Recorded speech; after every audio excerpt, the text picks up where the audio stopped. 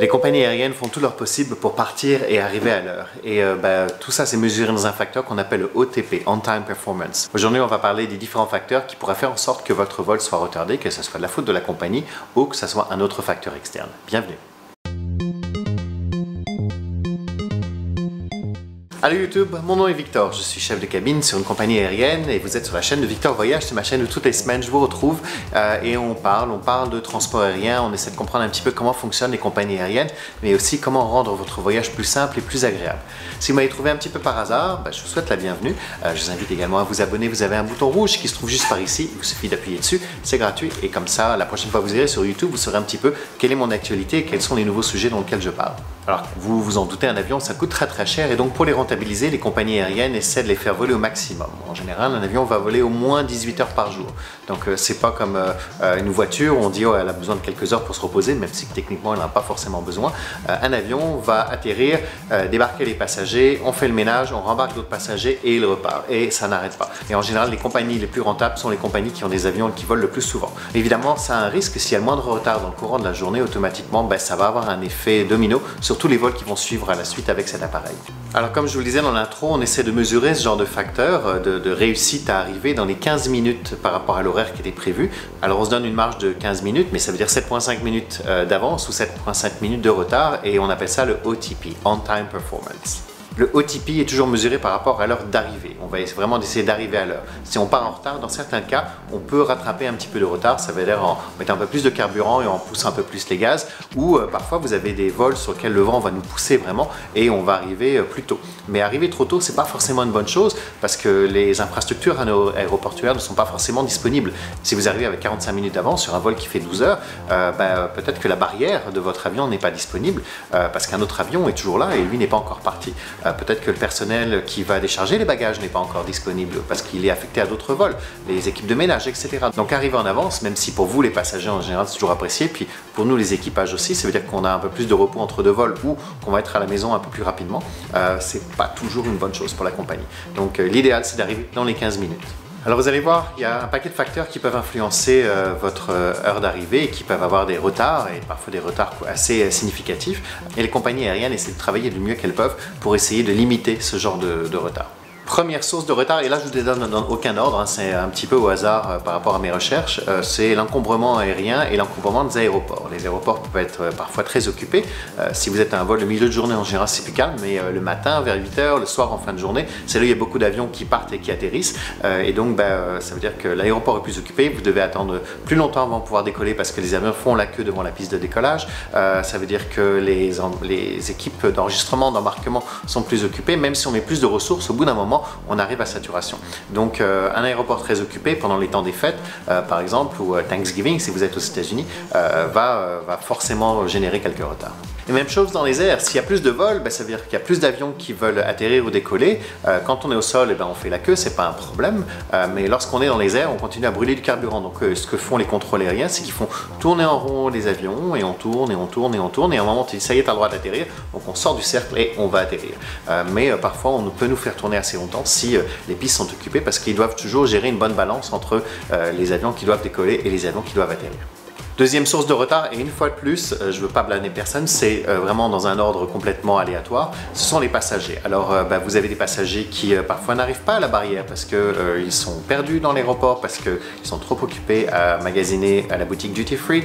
vous avez des passagers qui passent trop de temps dans le salon, des passagers qui n'ont pas prévu assez de temps entre deux correspondances, qui ont pris un temps vraiment minimum et qui courent entre les deux vols, mais il suffit que leur premier vol avait 15 minutes de retard, vous avez prévu 45 minutes, bah, ça leur donne 30 minutes pour débarquer de l'avion, courir jusqu'à l'autre bout de l'aéroport et dans certains cas même parfois euh, récupérer leur bagage. Donc euh, on a très très peu d'impact ce genre de choses. On va essayer d'assister les passagers qui sont en correspondance du mieux qu'on peut, mais euh, si vous avez acheté deux billets différents, ben, on a, notre compagnie n'a aucun moyen de savoir que vous étiez ou que vous allez sur un autre vol.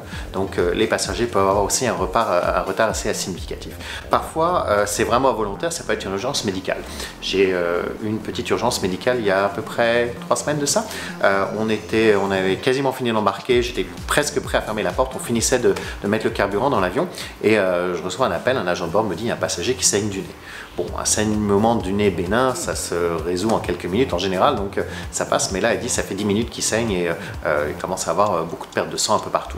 Donc évidemment, je préviens le cockpit, on fait venir des équipes médicales, donc ça retarde encore tout le monde, donc là, on ne pouvait plus fermer la porte. Ils doivent aller ausculter le passager et après avoir rendu leur diagnostic, ils disent que le passager ne va pas voyager parce qu'on ne voudrait pas que ça s'aggrave pendant le vol, surtout qu'en altitude, les choses sont toujours plus compliquées. Donc euh, on fait débarquer le passager, ensuite on doit donc récupérer ses bagages parce que les bagages ne peuvent pas voyager sans le passager. Le tout, ça a pris un bon 35 minutes entre le moment où on a appelé euh, les services de, médicaux et le moment où le passager a été euh, débarqué de l'avion et que ses bagages ont été retrouvés. donc ça ne veut pas dire que c'est aussi simple que ça, on ne ferme pas la porte immédiatement parce que là maintenant on doit avoir un nouveau créneau pour décoller et qui doit correspondre avec un nouveau créneau pour atterrir à l'aéroport de destination. Donc on a dû attendre un autre 25 minutes. Donc bon an mal an, on a eu quasiment une heure de retard. Euh, nous, on savait pourquoi, les passagers à bord comprenaient très bien et en général compatissaient, euh, mais euh, notre avion, on arrivait quelque part et on repartait à notre base. Et ben, ces autres passagers qui sont montés dans l'avion lorsqu'on arrivait une heure en retard n'étaient pas contents après nous. Sauf que, ben, bon, on va pas commencer à donner les détails de tout ce qui s'est passé, mais c'est pas du tout la faute de la compagnie aérienne, c'est parce que malheureusement un passager était souffrant et on doit s'occuper de lui, ça devient une priorité. Effectivement, ça a eu un impact sur des passagers qui peuvent avoir manqué des correspondances, qui c'est qui va payer leur chambre d'hôtel, qui est-ce qui va payer euh, leurs nouveaux billets si on doit les mettre sur une compagnie C'est nous, c'est la compagnie aérienne. On va absorber ces coûts alors qu'on n'est pas responsable forcément du retard. Donc euh, euh, c'est bien de taper sur dos des compagnies quand l'avion est en retard, mais il faut comprendre que c'est pas toujours, toujours de la faute de la compagnie. Autre source de retard, les bagages. Euh, bon, alors on a des passagers qui avaient une correspondance et leurs bagages ne sont pas encore arrivés. Qu'est-ce qu'on fait? Est-ce qu'on euh, est qu'on ferme la porte euh, cargo et on décolle? Ou est-ce qu'on décide d'attendre les bagages? Mais en attendant, nous, on est en retard parce que leur correspondance était trop courte. Donc c'est une décision qui est prise à la fois par le commandant de bord, mais aussi avec les équipes de contrôle aérien qui vont décider est-ce que ça vaut la peine de retarder le vol, combien de nos passagers qui sont déjà à bord ont une correspondance à l'aéroport d'arrivée, etc. Dans certains on va attendre, mais dans certains cas, on va fermer la porte et on va dire il faut partir. Même chose, des fois, vous arrivez devant euh, l'avion, vous arrivez avec juste deux minutes de retard, vous voyez que l'avion est encore là, qu'il y a des derniers passagers qui sont déjà sur la passerelle, et on vous dit non, c'est trop tard. Vous dites mais là, l'avion est là. Mais c'est parce qu'au bout d'un moment, il faut qu'on décide de fermer le vol. Donc fermer le vol, c'est une chose qu'on fait de manière informatique. Euh, on va éditer la liste complète des passagers, euh, la remettre au commandant de bord ou au chef de cabine en général, fermer la porte et après on, décolle si on continue à décaler d'une minute, d'une minute, d'une minute pour chaque passager qui est en retard, au bout d'un moment, on va décoller avec 15-20 minutes de retard. Et là, ça va avoir un impact sur les passagers qui étaient à l'heure. Alors, arrive en retard, je sais que c'est pas toujours de votre faute, vous pouvez arriver d'un autre vol qui était retardé, euh, mais si vous arrivez et qu'on vous dit malheureusement le vol est fermé, ça ne sert à rien d'aboyer sur euh, l'agent qui se trouve au comptoir. Euh, si le vol a été fermé, il ne sera pas réouvert malheureusement, parce qu'au bout d'un moment, on doit finir par partir. Un autre facteur qui n'a rien à voir avec la compagnie aérienne, ce sont les services de douane et de sécurité. Parfois, vous avez des longues, longues, longues, longues files d'attente. Euh, donc, pendant les temps des vacances, vous avez des voyageurs qui sont euh, des voyageurs moins fréquents, donc qui sont un petit peu moins habitués à comment pacter leurs affaires et à sortir les liquides et les gels au bon moment et ne pas retrouver une bouteille d'eau pleine dans leur bagage, alors qu'on l'a dit depuis 2001 qu'on ne transporte plus de liquide et de gel dans les bagages, c'est pas dans un petit ziploc. mais vous avez aussi parfois des contrôles douaniers qui peuvent être extrêmement longs. Euh, un aéroport euh, qui est réputé pour ça, c'est l'aéroport de Los Angeles, où vous pouvez facilement avoir deux heures après votre atterrissage avant de pouvoir réellement arriver à Los Angeles, parce que pendant deux heures, vous faites la queue aux douanes. Euh, donc même s'il y a des kiosques ça reste long.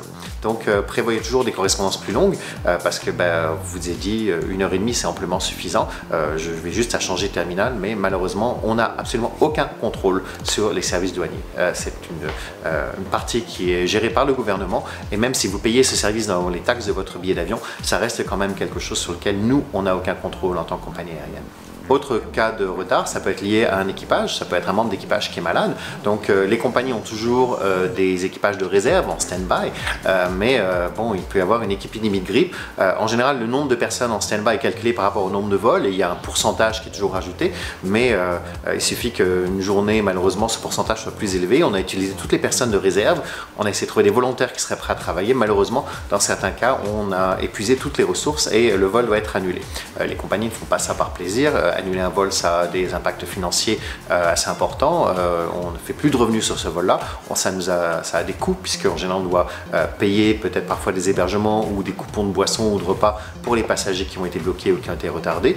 éventuellement, les mettre sur une autre compagnie aérienne sur laquelle on va payer un billet beaucoup plus cher. Donc, c'est jamais par partie de plaisir qu'on fait ça. Il faut savoir aussi qu'on n'a pas des bases partout dans le monde. ma compagnie, on a quelques bases à travers le monde, mais pas dans toutes les escales. Donc si un équipage venait à se blesser en arrivant euh, quelque part qui n'est pas où on n'a pas une base et que l'avion devait repartir, euh, ben, dans certains cas, on, a, on peut voyager, on peut voler avec moins d'équipage, mais il y a un minimum légal sur lequel on ne peut pas voler. En général, il y a un agent de bord pour chaque 50 passagers. Donc euh, ça peut vouloir dire que on va devoir retirer 50 passagers du vol si on volait avec le nombre minimum d'agents de, bord. Donc ça a un risque et ben, une fois de plus, c'est pas de joie, c'est pas de gaieté de cœur que la compagnie va faire ça, mais c'est quelque chose qui peut arriver. Autre cas de figure, un problème technique, euh, ça peut arriver. Vous avez parfois des choses qui ne fonctionnent plus dans votre voiture, vous avez besoin de l'emmener chez le garagiste pour la faire réparer. Même chose, un avion vole énormément, je vous le rappelle, par rapport à une voiture, il n'y a pas beaucoup de gens qui utilisent leur voiture 18 heures par jour. Un avion en général, c'est 18 heures dans les airs euh, et euh, bah, évidemment, bah, c'est très très utilisé. Donc il y a des choses qui peuvent être endommagées, il peut y avoir juste une lumière sur un panneau de contrôle qui ne fonctionne plus, ça peut être quelque chose de plus important, ça peut être aussi un oiseau qui est rentré dans les moteurs, il y a plein plein d'excuses, plein de choses qui peuvent arriver et euh, ben, même s'il y a des ingénieurs en général à chaque base, euh, on n'a pas toujours toutes les pièces de rechange. Donc euh, on a des pièces de rechange là où on a de nos hangars, on a des contrats avec d'autres compagnies sur certaines escales où ils peuvent nous donner l'assistance et nous fournir les pièces de rechange s'il il y a d'autres compagnies qui utilisent notre même type d'appareil. Mais parfois, je sais que moi je vole beaucoup sur les îles du Pacifique, il y a des endroits où malheureusement on n'a pas les pièces de rechange. Donc si jamais il y a un pneu qui est endommagé, on n'a pas des pneus dans la valise de, de l'avion, c'est pas comme, comme dans votre voiture. Et donc ben, il est arrivé, euh, je pense c'était à peu près six mois, on a dû attendre qu'un autre appareil fasse un détour et vienne nous déposer des pneus. Donc euh, ben, en attendant, notre avion au sol a été retardé pendant à peu près 5 heures. Donc une fois de plus, ce sont des choses qui peuvent arriver sur lesquelles euh, on a un contrôle qui est limité, mais on essaie d'avoir des solutions de secours pour essayer de se remettre dans la traque et pouvoir repartir le plus rapidement possible. Et dernière source, mais quand même une des très très importantes, sur laquelle on a absolument zéro contrôle, c'est la météo. Euh, à moins que vous connaissiez quelqu'un qui soit capable de contrôler la, météo à l'extérieur, euh, nous on est soumis aux intempéries. Et donc euh, ça peut être un orage, une tempête de neige qui peut décaler ou fermer un aéroport. Et dans ce cas-là, ben, ça a des effets sur tous les vols qui devaient partir et atterrir, mais aussi sur le reste du réseau. Parce que un gros orage à Tokyo qui peut décaler un vol de 4 heures, l'avion peut-être faisait Tokyo-Toronto et ben, les, les, ensuite Ensuite, l'avion repartait de Toronto à Paris. Sauf que ces passagers qui sont à Toronto, qui partent sur Paris, euh, leur vol est retardé, ils comprennent pas, il se fait très beau dehors, mais il y avait une grosse tempête au Japon. Donc, euh, euh, tempête de neige, ça, au Canada, on en a assez souvent. quand il y en a en France, en général, les aéroports ferment directement parce que 2 cm, on a beaucoup de mal à gérer ça, mais c'est parce qu'ils n'ont pas les mêmes équipements que chez nous. on va trouver aussi, même en été, des orages magnétiques, donc on ne peut plus voler, même s'il fait un temps magnifique. Il y, y, a beaucoup de choses qui peuvent faire en sorte que des vols soient annulés ou détournés sur une autre destination. Et ben, ensuite, ça va prendre quelques jours pour rééquilibrer tout le réseau pour que tous les avions se retrouvent là où ils sont censés être. Donc ce que je vous conseille, c'est toujours d'arriver en avance pour éviter ce genre de petits problèmes. Au moins, euh, vous serez prêt et euh, vous allez limiter les dégâts si jamais c'était des problèmes liés au contrôle de sécurité, euh, à l'embarquement, etc. Et puis, ben, prévoyez un plan B. Donc, soyez toujours prêt à accepter si jamais il y a un changement. Malheureusement, les personnes qui vous l'annoncent ne sont pas responsables et vont essayer de trouver la meilleure solution. Mais c'est pas en deux minutes qu'on peut réserver 300 passagers dans un avion. Ça prend toujours un petit peu de temps pour essayer de satisfaire tout le monde. une fois de plus, et ça je le dis quasiment à chaque mois, euh, les assurances voyage vont vous aider puisqu'elles vont pouvoir vous faire voyager sur d'autres compagnies. Évidemment, c'est un problème météo, ils ne pourront rien faire, mais euh, si jamais il y avait un problème technique et que vous étiez sur Air Canada, eh ben, votre assurance voyage va vous mettre sur une autre compagnie, alors qu'Air Canada va essayer de vous garder sur son réseau et vous mettre sur son prochain vol. Donc, euh, une assurance voyage peut vous aider quand même à arriver à destination plus rapidement. Voilà, donc OTP, c'est loin d'être une science exacte, c'est quelque chose sur lequel on essaie de limiter les impacts, mais on essaie toujours d'arriver le plus possible à l'heure, c'est dans l'intérêt des passagers, c'est l'intérêt de la compagnie, et on va jouer avec tous ces facteurs-là. J'espère que cette vidéo vous a plu, que vous avez appris quelque chose d'intéressant. Si vous aimez ça, mettez, mettez un petit pouce vers le haut, ça aide la chaîne à être un peu plus visible sur YouTube. Si vous n'êtes pas encore abonné, je vous invite à le faire. Euh, si vous avez des suggestions de vidéos, vous pouvez les mettre dans la barre des commentaires qui se trouve juste en bas. Et puis, bah, nous, on se retrouve la semaine prochaine. Salut